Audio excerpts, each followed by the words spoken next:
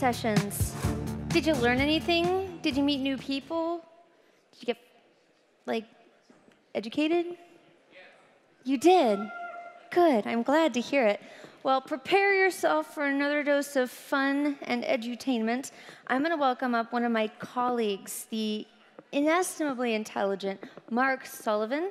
He is our uh, lead dude in terms of health tech coverage at VentureBeat. How you doing, Mark? Good. Having fun yet? So much fun. Okay. Well, he's going to be talking with Adam Foroughi, CEO and co-founder of AppLovin, and Mike Bidgoli, VP of Product at Living Social. Give the gentleman a hand. Come on up, guys. You're welcome. Thank you. All right. Great to be here with you guys.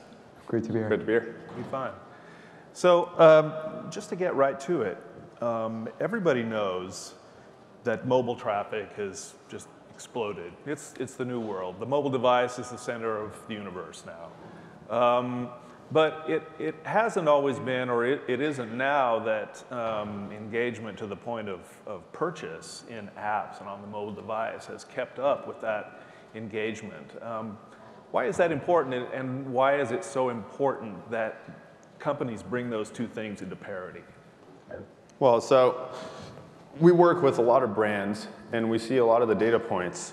And really, what we, the main stat that we see is that over 50% of consumer consumption is today coming from mobile devices. These phones that we have on us at all times, the tablet that we carry around everywhere, these devices are the most intimate devices that we as human beings have seen in our lifetimes. So consumers are there. They're there all the time. And the brands that can take advantage of it by focusing on the right user experiences will benefit greatly over the coming years and decades. Those that don't will really fall behind and lose a lot of their business. And you know, when, when, in my business, I'm head of product, and I'm also part of a lot of sales meetings, and we work with a lot of brands.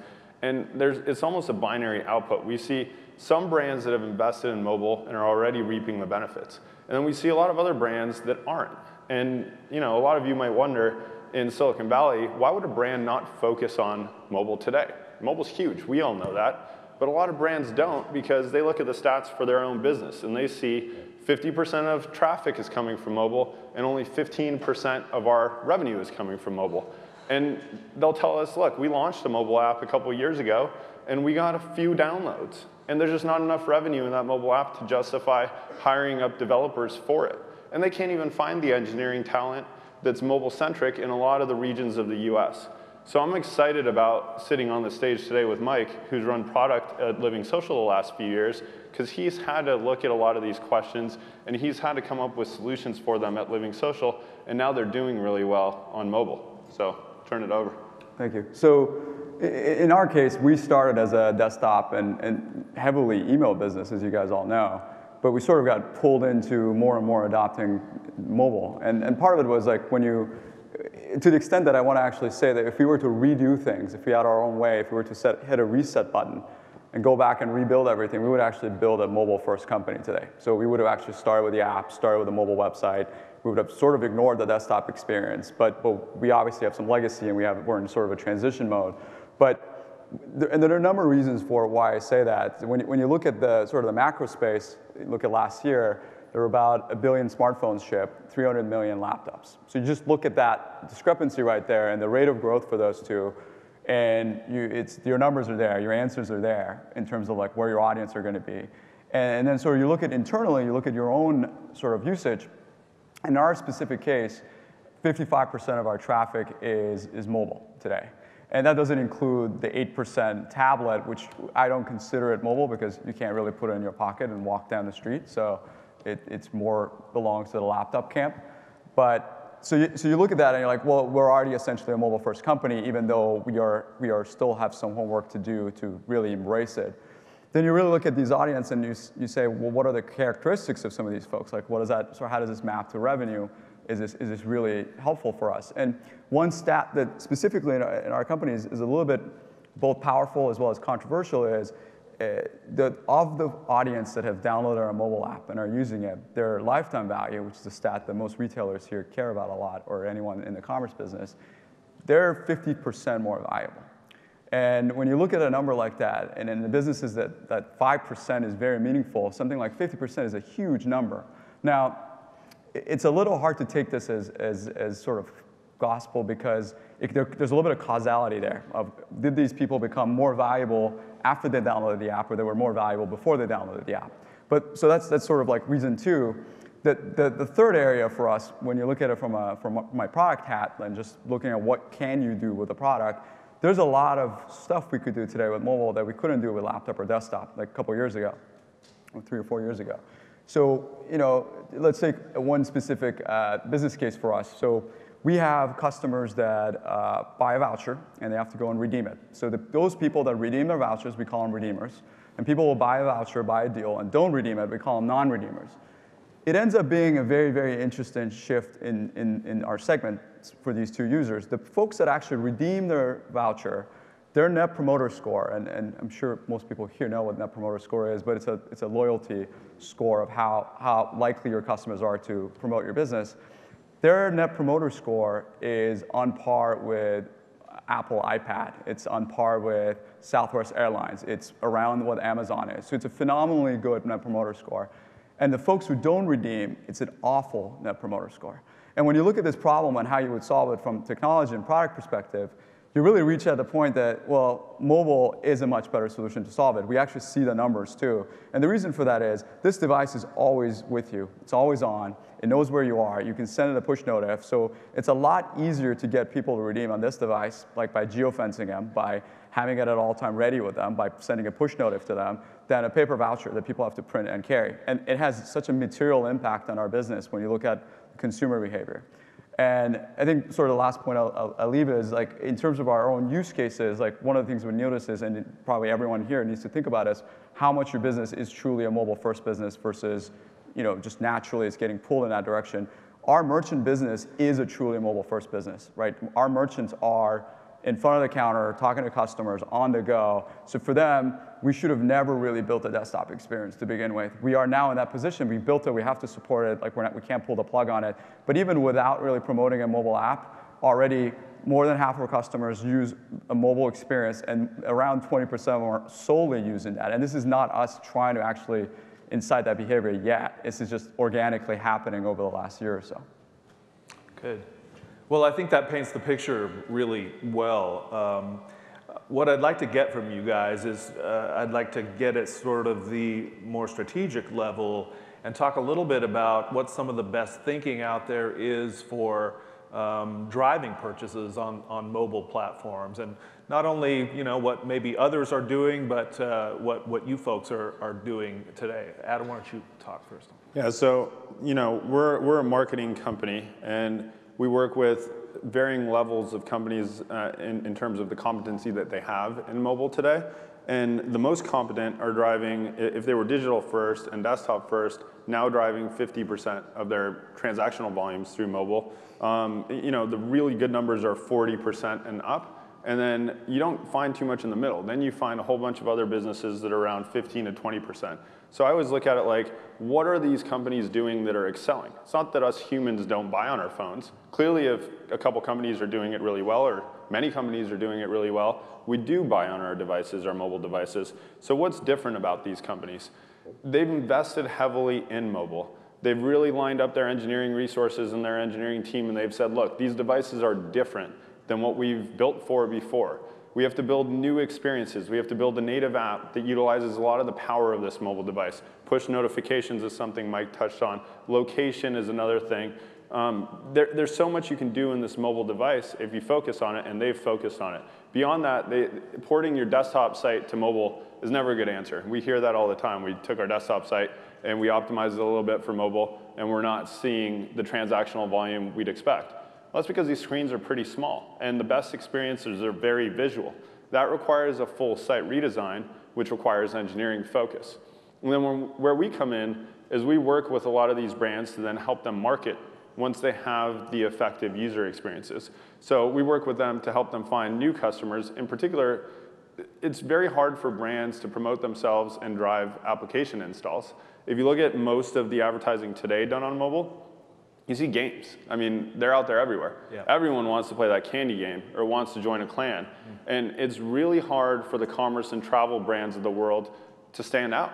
It, the, these gaming companies are buying up all the inventory because we human beings really love the power of these devices, and they were really built to be powerful gaming devices, and more and more consumers are becoming gamers. But that said, we all buy I mean, we're all buying on Hotels.com or purchasing deals through Living Social and Groupon or buying from Nordstrom, et cetera. So why can't the commerce and travel brands and other transactional businesses promote themselves effectively? So we built technologies to help them with that, to find new customers. And then we really focused on working with these brands to help them re-engage their already existing customer base and to help them drive more transactions through their, their properties. And so I'll turn it over to, to Mike to talk about more specifically what Living Social has done here. So, so in our world, there, there's, there's two sides of it. There's like what do we specifically have done on the product perspective and what the numbers are and what do we have to do to actually get there. So the first order of business was like three years ago, there was one iOS engineer, there's one mobile engineer, period, in the company. And this one person, brilliant engineer, we pretty much everything we shipped on desktop, 50 plus engineers would come to him and say, hey, can you ship it here? And he would but clearly like a large sort of departure from where we are, where we are today. So first order was like, how do you change product development from a, from a point of view that like everyone's just shipping in desktop to feature teams that are working on mobile and desktop and thinking about the end-to-end scenario. And that's actually not a trivial thing. It's, it's a hard thing in product development to think about all the scenarios, all the devices, and it's just gotten harder. So that was one. And today, we, we, the way we, we've sort of the sweet spot we arrived at, and actually we're still learning, this is, this is probably, there are probably better answers out there, but the, the sweet spot we arrived at is like, let's think about mobile web first. It still has the same screen size limitation. You still have to have some of the discipline. And the engineers and the designers and everyone thinks about that set, it ships it from desktop and mobile web. You can actually get the experiment data on the site pretty quickly, and then you can ship the native. And that, that's sort of where we arrived at. There's, there's probably room for growth there. The, uh, the actual number side and like what are the, some of the, the, the issues, as, as you, you asked us, we, well, for one, like the number I mentioned for, for mobile traffic, which is around 55% of our traffic, well, they end up, it doesn't end up being 55% of our revenue. It actually ends up being around 40%, of, close to 40% of our revenue comes from that.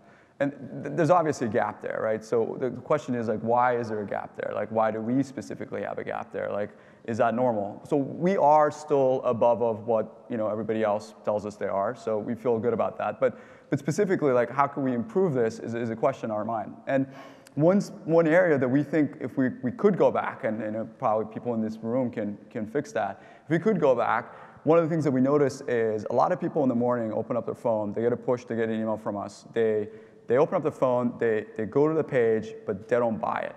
And one of the things when you look at the analytics, you realize is people don't want to put in their username and password. And A, like just typing on the phone is harder, and B, a lot of people just forget it, like forget what the password they set with us. Like we're one of the many sites that they have a password with. So, you know, and we very meticulously made people log in on the desktop and collect their password, but we perhaps maybe we should have pushed Facebook Connect harder, right? Because Facebook, most people are logged into it already, and most people, at least they remember the password. So if they had an easier Facebook login on a mobile phone with us, like maybe we could have just passed this hump. So we're, we're, we're, we're learning some of the data there, and we're making a bigger, bigger push there. And I think sort of, I'll, I'll stop there in the interest of time, but there, there's a number of mobile, mobile bet, mobile first investments that if we were to rethink this, we would have done. Okay, great, thanks, Mike. Um, so uh, the third thing is if we could get into some specifics about how your two companies are, are working together right now as, you know, as a, you know, you're trying to help a, an app developer uh, optimize performance and optimize uh, engagement and purchases on the app. And so where's the starting point and what, what is sort of the substance of that relationship? Adam. Yeah, I'll, I'll start with that. So um, we started working together with Living Social about a year ago. And really, we focused this relationship on our mobile retargeting product because they have an audience already.